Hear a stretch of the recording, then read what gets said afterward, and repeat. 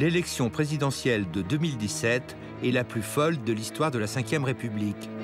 Elle a rendu fou certains candidats, rendu fou le peuple français, rendu fou les commentateurs politiques. On sait bien que chacune des élections présidentielles nous a réservé des surprises, mais là, ça dépasse l'imaginable.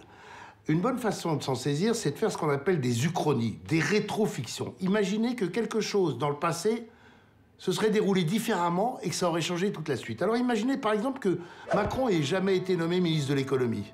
Eh bien toute la suite de son scénario s'effondrait, Macron n'existait pas. Imaginez que Hollande, bon d'accord c'est difficile, mais que Hollande soit redevenu vraiment populaire. Eh bien il se serait représenté. Imaginez que Sarkozy soit devenu populaire, presque aussi difficile que le précédent. Eh bien ça aurait tout changé. Imaginez que Juppé ait compris que c'était Fillon le danger pour lui et pas Sarkozy et qu'il ait ajusté sa campagne en conséquence, et qu'il ait gagné la primaire, toute l'élection change. Imaginez que Manuel Valls ait quitté Matignon six mois plus tôt. Il n'était plus englué dans cette histoire de assumer, pas assumer, euh, euh, plus de 49-3, mais si quand même, etc. Il pouvait gagner la primaire. Et il n'y avait pas l'espace incroyable qui a été libéré pour Macron. Imaginez que Hamon et Mélenchon se soient entendus, et que l'un des deux se soit retiré, qu'il y ait un seul candidat de gauche, gauche, vraiment gauche, ça pouvait tout changer. Imaginez que Bayrou était candidat. Quel espace il restait pour Macron?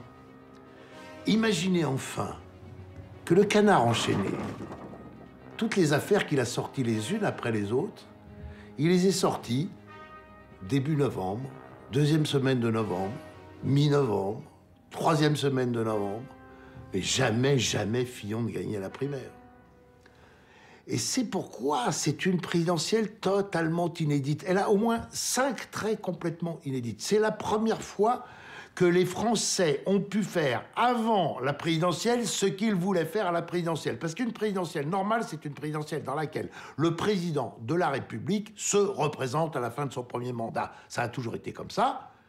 Et c'est une présidentielle dans laquelle le chef de l'opposition est candidat contre le président. Hollande, Sarkozy. Et les Français, ils voulaient deux choses, mais certainement.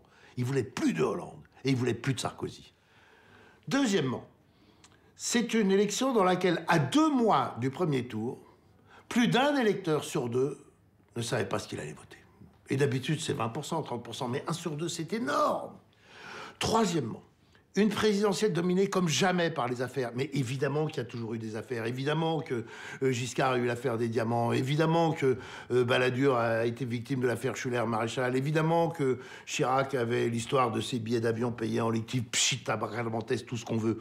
Mais jamais à ce point-là.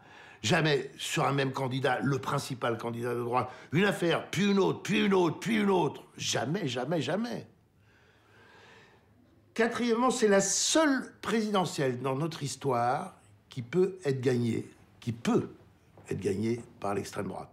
Et dernière chose, pas des moindres, c'est la seule présidentielle où les deux grands partis, les partis de gouvernement, les partis qui ont dirigé ce pays, le parti néo-gaulliste, les républicains, le parti socialiste, les deux peuvent être éliminés au premier tour de la présidentielle, ne pas figurer au second tour.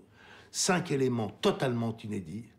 Cette présidentielle est pas seulement la plus folle, c'est aussi la plus incroyable de toute notre histoire.